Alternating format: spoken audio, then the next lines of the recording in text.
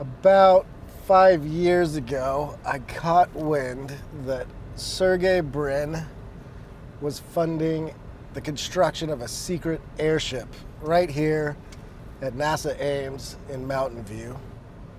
I saw some pictures of this early airship, got kind of obsessed with it. Sergey didn't want to talk about his airship, but over the last couple years, I managed to ingratiate myself with the guy who's bringing Sergey Brin's airship to life. And today, I'm going to take you guys in to see this thing being made.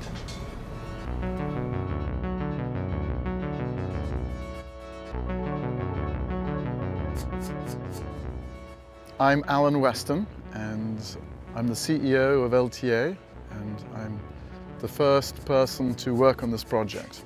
We've got this beauty behind us. Give us, give us the basics. This is Pathfinder 1.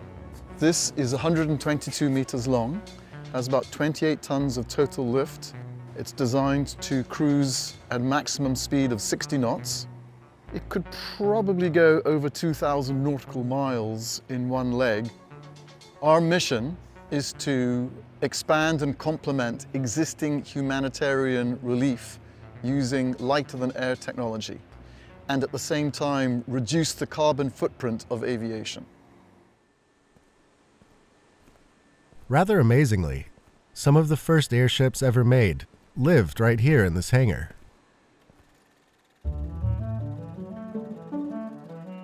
Almost a hundred years ago, the Navy began building airships in Ohio so they could be flown to California.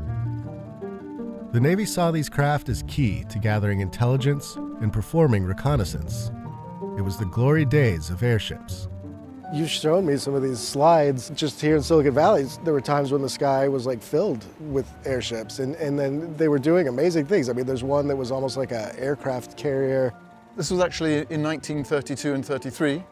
There was a hook on the airship and biplanes were carried inside the airship okay. and they were refueled.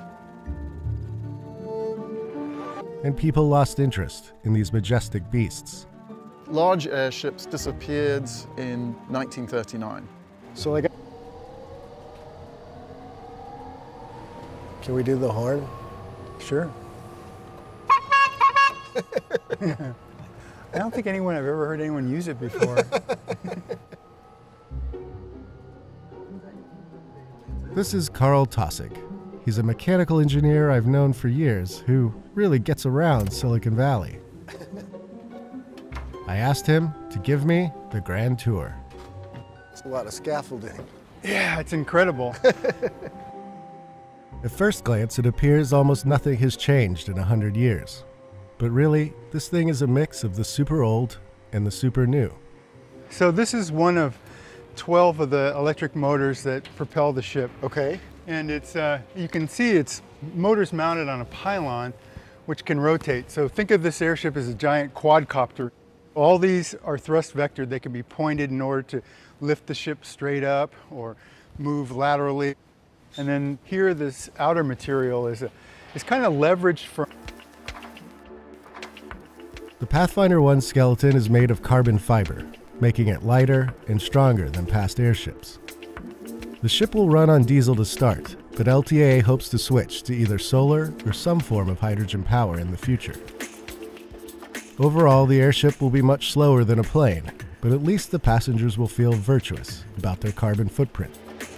I've never been in a gondola.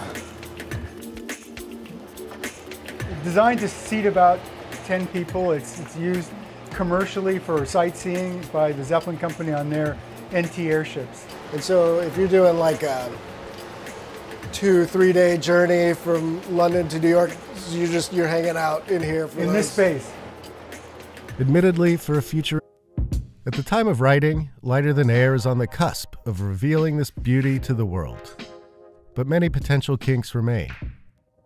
The market for slow, weather dependent airship travel may not be enormous, and the cargo applications Al favors are a bit further out.